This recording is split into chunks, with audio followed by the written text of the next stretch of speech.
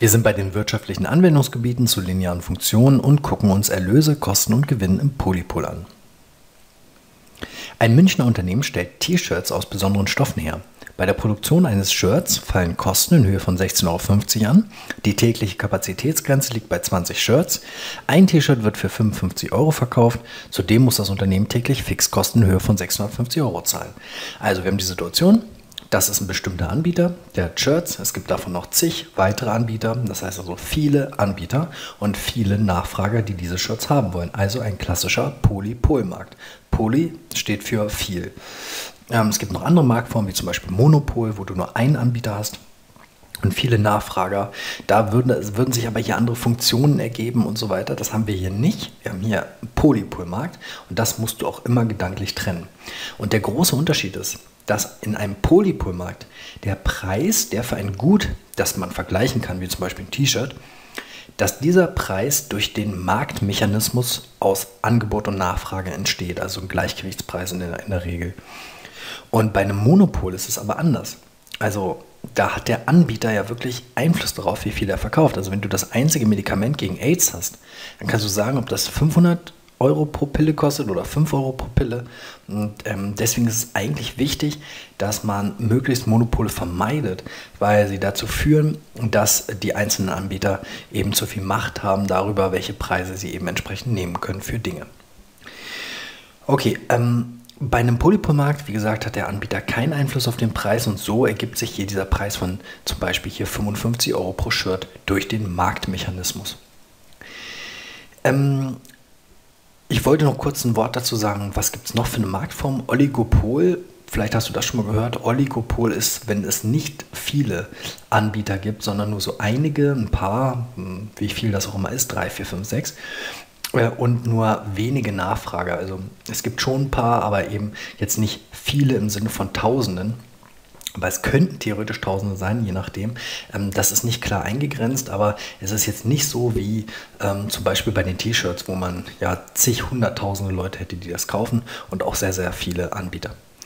Okay, ähm, Annahme, die Produktionsmenge eines Tages kann immer abverkauft werden, bedeutet also, ähm, wir haben hier eine Kapazitätsgrenze, die liegt pro Tag bei 20 Shirts. Es können also theoretisch 0 oder 20 oder irgendwas dazwischen an T-Shirts produziert und verkauft werden. Und die Annahme ist, dass die Produktionsmenge sozusagen theoretisch im Abverkauf werden kann, egal für welche ich mich dann letztendlich entscheide. Ob ich mich für 5, 6, 7, 0 oder 20 T-Shirts entscheide, egal. Ich kann sie verkaufen. Das ist hier die Annahme, um es ein bisschen einfacher zu machen. Okay, um jetzt die Funktion zusammenzubauen, das steht ja alles im Text, ähm, haben wir schon ein paar Mal besprochen. Erlöse sind einfach Preis mal Menge, also P mal X, der Preis sind 55 und X, ja, nimmt man noch mit dazu und schon ist man fertig.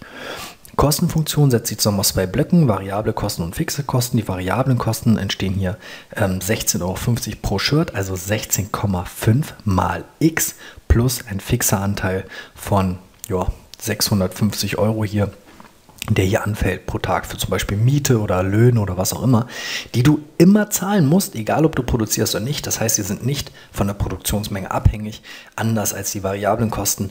Je nachdem, ob du produzierst und dann eben wie viel du produzierst, fällt eben dieser Block hier mal kleiner oder mal größer aus. Theoretisch, wenn du nicht produzierst, dann hätte man hier x gleich 0 und dann würde dieser Block komplett wegfallen.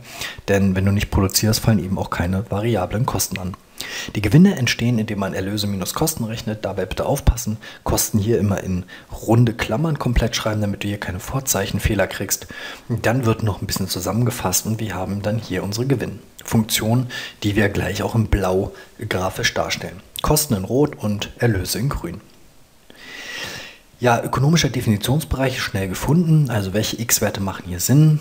zwischen 0 und der Kapazitätsgrenze, also 0 und 20, ähm, kann man hier alles machen. Und das gilt eben für E, K und G. So, ähm, das Skalieren jetzt von so einem Koordinatensystem macht manchmal Schwierigkeiten. Die x-Achse geht noch und das ist ja hier auch klar. Die x-Achse skalieren wir zwischen 0 und 20, möglichst großzügig, ähm, damit wir hier ähm, kein so, ein, so, eine, so eine zusammengestauchte Grafik haben, sondern die soll schön über die ganze Breite deines Blattes gehen. Und die y-Achse macht aber immer Probleme. Und da würde ich Folgendes empfehlen. Erstmal gucken wir uns die Funktion an. Sehen, das sind alles lineare Funktionen und weil die Steigung überall positiv ist, kann man sagen, die steigen alle sozusagen positiv an, die haben also Wachstum. Das heißt, der kleinste y-Wert, der hier entsteht bei allen drei Funktionen, muss ja bei x gleich 0 liegen. Weil wenn die von links unten nach rechts oben hochlaufen, dann ist bei x gleich 0 der tiefste y-Wert bei allen drei Funktionen, egal wo auch immer der liegt. Und bei x gleich 20, also auf der anderen Seite des ökonomischen Definitionsbereichs, muss bei jeder Funktion der höchste y-Wert liegen. Das ist ja schon mal gut zu wissen, denn wenn ich jetzt einfach 0 und 20 als x-Werte mir hier in so eine Wertetabelle schreibe und diesen, diesen Wert 0 zum Beispiel in alle drei Funktionen einsetze, kriege ich diese y-Werte. Und wenn ich 20, also die andere Grenze des ökonomischen Definitionsbereichs, in alle drei Funktionen einsetze, bekomme ich diese y-Werte. So, und das ist ja schon mal ein super Anhaltspunkt, denn so weiß ich, welche y-Werte grundsätzlich hier auftauchen. Und so kann ich auch meine y-Achse skalieren, nämlich immer in diesem Bereich zwischen dem kleinsten Wert, minus 650, und dem größten Wert, 1100. So, jetzt ist hier nicht nach dem ökonomischen Wertebereich gefragt, aber ich übertrage einfach die Wertetabelle direkt mal. Ähm, das sind ja hier die Wertebereiche ökonomisch gesehen für alle drei Funktionen. Das heißt also, welche y-Werte können unter den Umständen, die es hier gibt, nämlich zwischen 0 und 20 bei den x-Werten, welche y-Werte können hier bei den Funktionen minimal und maximal entstehen. Ja, das haben wir hier schon ausgerechnet. Also können wir es hier übertragen. Und ähm, hier sind nochmal der kleinste und der größte Wert markiert. So, und jetzt wollen wir zeichnen. Und wir wissen, die x-Achse soll zwischen 0 und 20 skaliert sein und die y-Achse zwischen dem kleinsten und dem größten Wert, der vorkommt.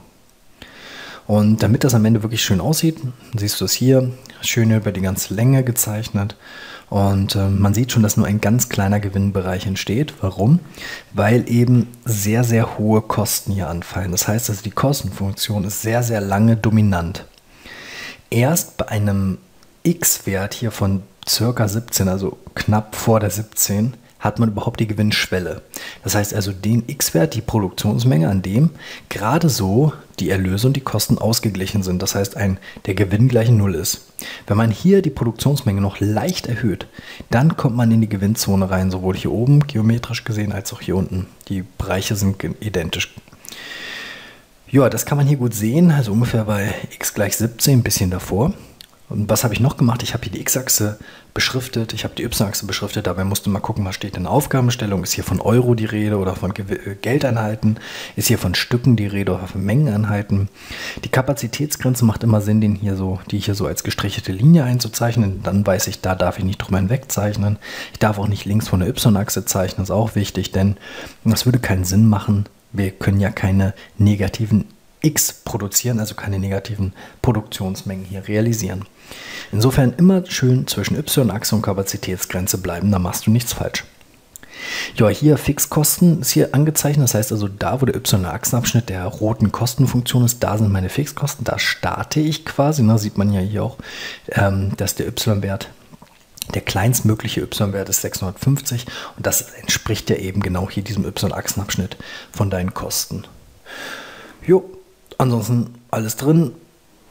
Flächen eingezeichnet, Verlust, Gewinn, Beschriftung, markante Punkte, Break-Even-Point, Gewinnschwelle und so weiter.